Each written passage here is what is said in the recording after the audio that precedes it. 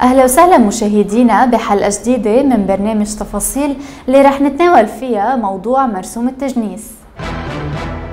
هذه الساحة اللبنانية هالأسبوع مرسوم التجنيس اللي رجع للذاكرة ضرورة وضع قانون خاص لأعطاء الجنسية اللبنانية.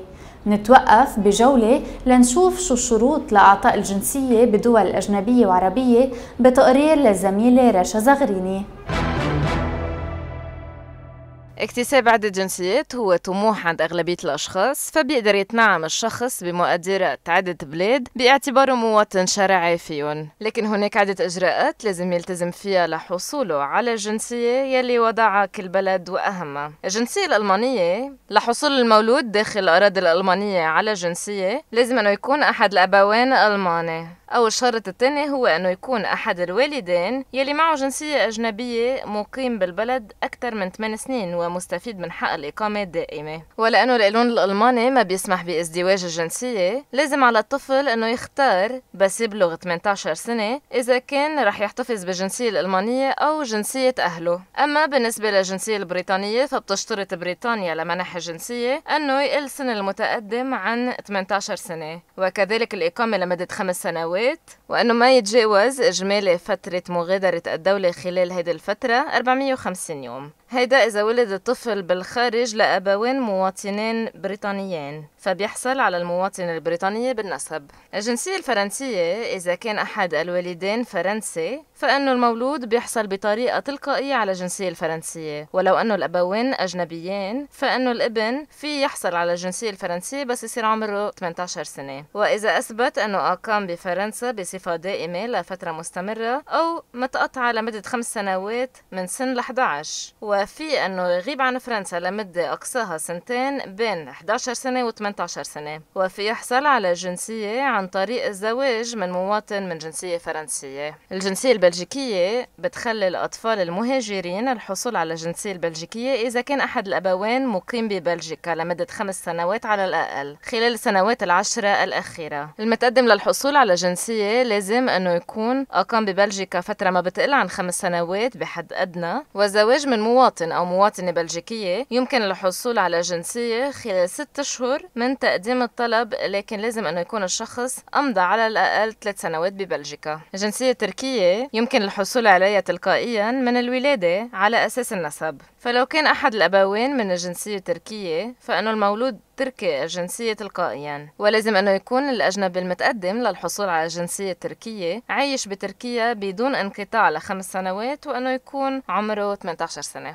الجنسية اليونانية وفقا للقانون اليوناني المتعلق بالجنسية اليونانية فإنه الطفل يلي بيولد بالأراضي اليونانية والأبوين مش من الجنسية اليونانية بإمكانه الحصول على جنسية بشروط وبين تسجيله للدراسة بمدرسة يونانية ومواصلته لمشواره الدراسي أثناء تقديم طلب للحصول على جنسية. الجنسية المصرية وفق القانون المصري بحق للشخص الحصول على جنسية بعد عشر سنوات من الإقامة بالبلد وأنه ما بيحق له تقديم الطلب إلا بعد بلوغه ال 21 من عمره. وبيشترط أنه يكون بلا عاهات جسدية وحسن السلوك وغير محكوم عليه بجرائم وأنه يعرف اللغة العربية. بالمقابل يعتبر أي شخص مولود بمصر مواطن بحال كانت الأم مصرية وجنسية الأب غير معروفة أو من ثبتت قرابة الأب بشكل قانوني أو إذا ولد من أب غير معروف.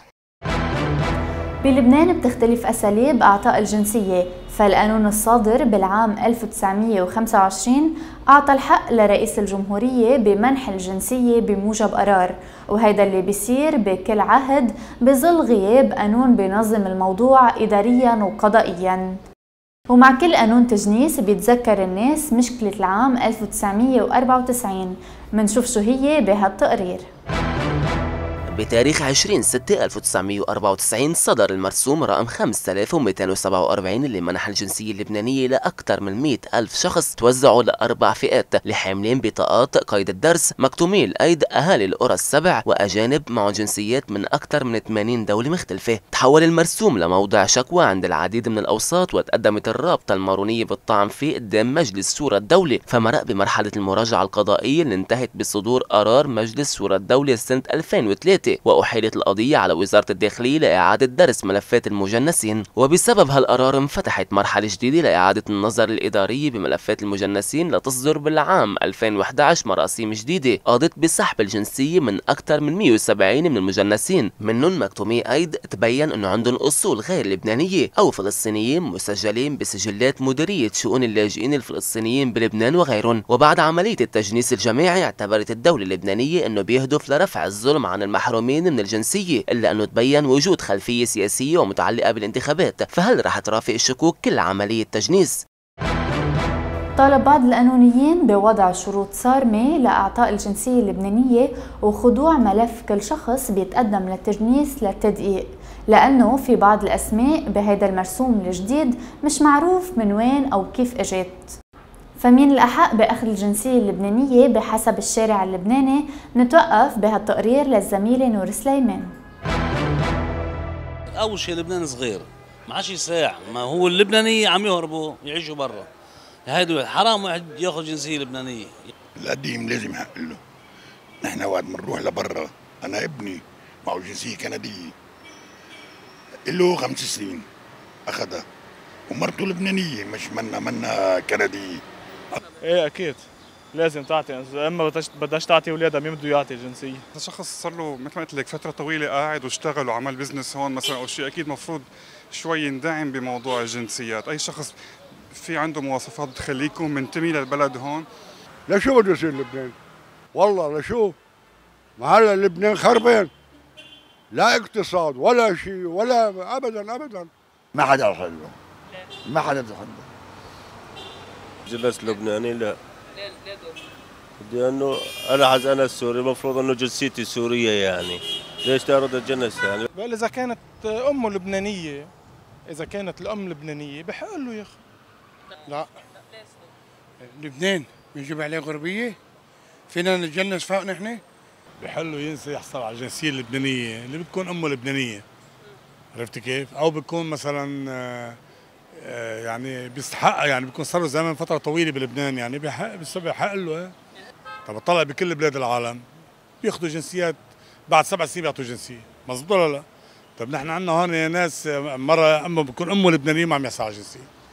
يعني لا نحن ما يعطون يا أمه لبنانية أكيد. بس هيدا بس الحالة برأيك؟ بس هيدي الحالة برأيي. لأنه هون بصراحة ما عندنا دولة قانون وبتراعي هدول المواضيع. يعني إذا اليوم القصة قصة مصاري بس آه بتخيل الموضوع مصاري مش آه مش قوانين مزبوطه البلد مش لازم يعود يعطي جنسية لحدا ليه؟ لأنه أولاد البلد جوعانين وميتين بالجوع. ما حدا. ليه؟ ما حدا. إلا اللبناني فقط لا غير. كل مقيم أكثر من عشر سنين لازم يتجنس. بمقابل رأي الناس القانون بيتضمن معايير وشروط محددة لأخذ الجنسية اللبنانية.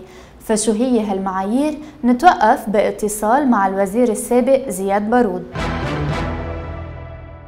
أثار المرسوم الجمهوري الصادر من الرئاسة اللبنانية بشأن تجنيس الأجانب بالبلاد جملة من الاعتراضات وردود الفعل الغاضبة بالأوساط السياسية والشعبية اللبنانية. موضوع منح الجنسية اللبنانية لأجانب يعد واحد من الملفات اللي تركت علامات سوداء بالعهود السابقة وأثارت بلبلة فبال 94 صار في تجنيس واليوم عم يرجع يتكرر السيناريو نفسه من خلال الضجة اللي أثارها هيدا المرسوم. فشو سبب إصدار هيدا المرسوم؟